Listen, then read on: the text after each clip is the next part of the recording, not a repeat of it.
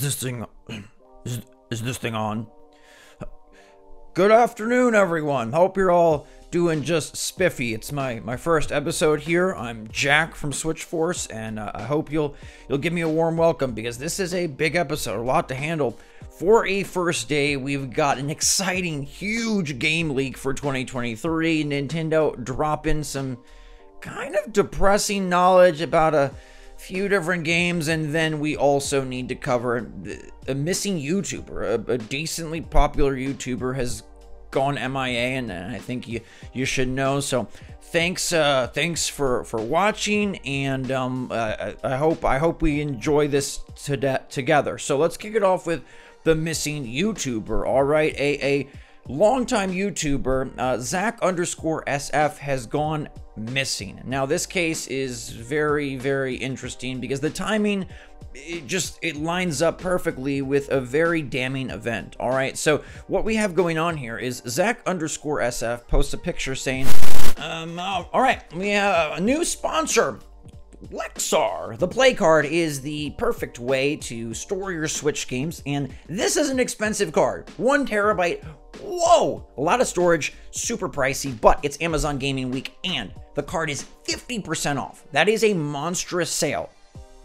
Unheard of. To put this huge card half off, click the link in the description, and you can grab one for yourself. I've heard that uh, every time you click it, it helps me keep my job, so maybe you should. And I've heard these cards are pretty good. I see a lot of them actually around the offices here, so they probably have merit. But that's Lexar, Amazon Gaming Week. This sale is this week only, and you can grab it for chop off half the price. Go use it on gasoline or not soda. Zach underscore SF posts a picture saying, just started a new job for the first time since 2010. Any guesses? And that's the last communication we heard. Now, we've done our investigation here and tracked it back to a video posted on Saturday, August 27th, during the Splatfest. Now, this was post Splatfest live stream, but it was a video about Sonic Frontiers, okay? And he called out the game for being barren and boring, and this was not received well, all right? People were very upset.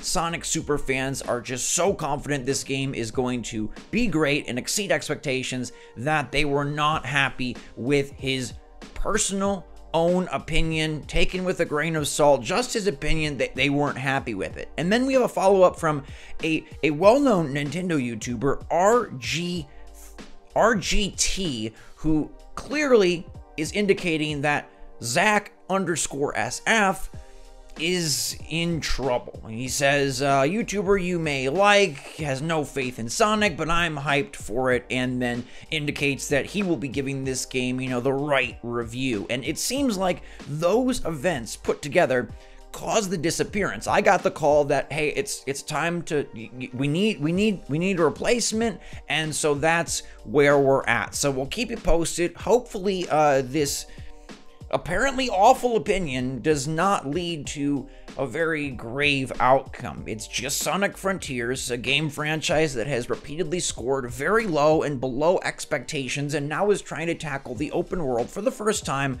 uh, with a an environment and a world described as open zone I don't know. I, I, it's just an opinion. I don't think it was maybe that far off, and I think fans are just a little overzealous to get this game and have it be good because Sonic is a very nostalgic property, and everyone would love to see it succeed, myself included. Myself included. But uh, sometimes you, you got to just call it how it is, and, and I hope that the internet still allows for people to, to call it as it is and to give their honest opinion. Now, speaking of honest, Assassin's Creed is a franchise that I love. This game started out in an amazing place. Well, not maybe amazing, but fantastic, and then reached amazing with Assassin's Creed 2, one of the best open world games I think ever achieved. Now, in recent memory, Assassin's Creed has gone RPG, all right, and it's really pretty good, but maybe not excellent. A lot of players enjoy this RPG turn, but for me personally, it reduces the power of your character. You're supposed to be an awesome assassin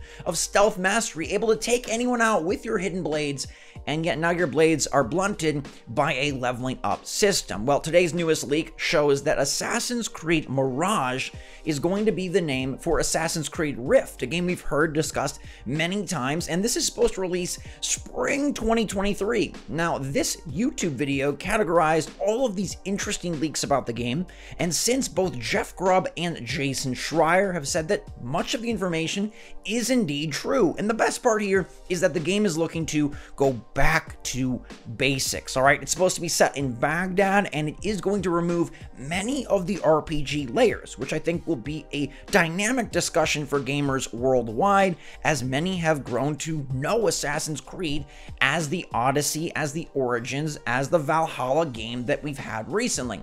But this AC Mirage is apparently returning to the AC 1 and 2 vibes and becoming more of a stealth game where you do return the power of the assassin. Now, there's some other notes about possibly remastering Assassin's Creed 1 utilizing these same assets and tech. Schreier says there won't be multiple cities, but it seems like the focus here is changing up the formula and returning to more of an actioning stealth game where you do have a more understanding of the world and less of the layers that have sort of convoluted the game. Now, I think certain players will be bummed by this, but many, especially the original fans, will find this really refreshing and it has me really excited for Assassin's Creed.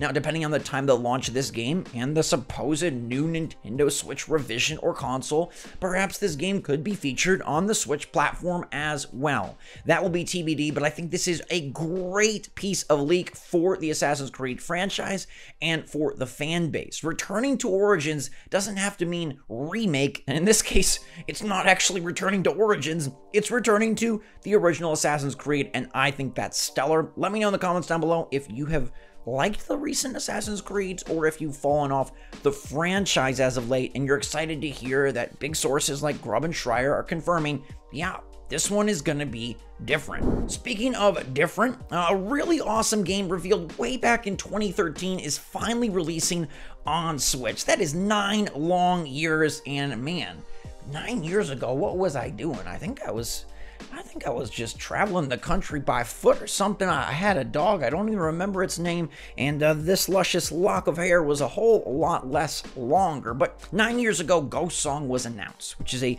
wondrously artistic, hand drawn Metroidvania. It's from a company called Old Moon, and the game has been in and out of the scene, and now finally it's going to be on your screen. November 3rd is the launch date, and this one looks exceptional. Been waiting for this a long time. It's going to be on Switch and PlayStation 5, and yes, yes, yes. Now the game is really, really arriving, and after a year where Metroid Dread was successful, we have an opportunity to play another nifty Metroidvania that has had nearly a decade of development. So a lot of high expectations for this one, uh, but it does seem to have a challenging combat system and a really interesting suit that allows you to power up and progress with different weapons and game-changing abilities. So we'll definitely keep our eyes on this one. Something Nintendo often doesn't do is give us eyes on full information. They like to provide the top of the heap, but not necessarily the middle and the bottom, but recently we have an announcement of all of Nintendo's million sellers. Now this is fascinating for a number of reasons. We get to see the most up-to-date information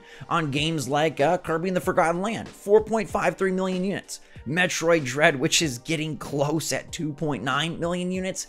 But I want to draw your attention to the middle of this list. Obviously, we know Mario Kart 8 Deluxe is insanely successful. AC, Smash, Breath of the Wild, brilliant sales records. But it's interesting when you look, and, and, I don't want to disparage a single game here, right? Every game that's gotten a sequel on Switch, well deserved. There's fan bases that cross genres and fan bases that cross the globe, and a game like Xenoblade Chronicles 3 is a resounding success. But let me draw your attention to number 33 here, all right? ARMS has sold 2.66 million copies, which places it ahead of Xenoblade Chronicles 2, ahead of Mario Golf, ahead of Octopath Traveler, ahead of Pikmin 3 Deluxe, ahead of Xenoblade Chronicles, ahead of Mario Kart Live, ahead of Marvel Ultimate Alliance 3, with the IP of Spider-Man, Wolverine, and Captain America. Yet this game has received middling marks and no sequel love. It's strange how Nintendo is so willing to greenlight sequels for such games that have only sold either a little bit more or in many cases less than this game, and yet ARMS is I think regarded as kind of a not great Switch release. Mm, That game did have some problems, of course, but the core mechanics were really fun and innovative. Look how much success Nintendo had once they stuck to Splatoon, and I wonder if ARMS could see a similar sequel upgrade. We're talking a lot about sequels today, and many of them have evolved throughout their franchise. Nintendo often says things like, unless we have a big, bold idea, we don't want to iterate. That's why they haven't had made an F Zero, a Kid Icarus, a Star Fox, and yet Splatoon 3 is back iterating, and Xenoblade Chronicles has been back iterating. Why can't ARMS get the time of day? I do hope that in this cycle, Nintendo will revisit their most original IP.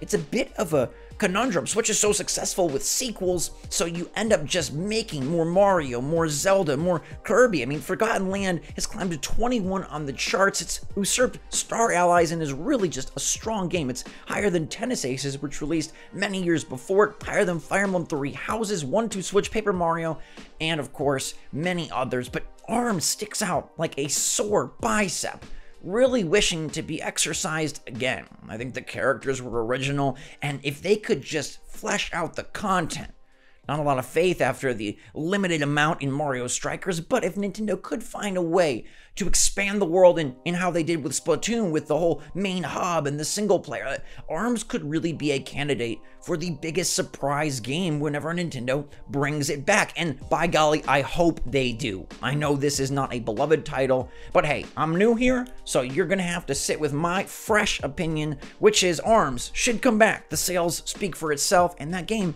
had potential. It just needed a little extra TLC. So let me know how you feel about some of these smaller sellers getting sequelized and iterated, whereas other games don't. Nintendo just sort of picks and chooses, and I wonder why they haven't picked arms again. I'm ready to arm wrestle anybody who says it shouldn't get another try, so holler at me in the comments down below. All right, all right, I know many of you are a bit stressed out by the disappearance of the YouTuber Zach underscore SF. Again, the Sanic situation, it just ballooned to, to a level that nobody really expected. I mean, it's it's Sanic Frontiers. I think the game has had middling reception, even from the very Sonic creators criticizing this man's response. So, not sure what went on there, but our, our wishes and our hopes and our, our prayers go out uh, to Zach underscore SF that everything is all right out there. Thank you so much for bearing with me as I bring myself aboard this show as its uh, as its new host, and uh, I really hope you guys have a really uh, yeah get out there, mm, do good. All right, Th- thanks again. Um, think this show is daily. Okay, bye.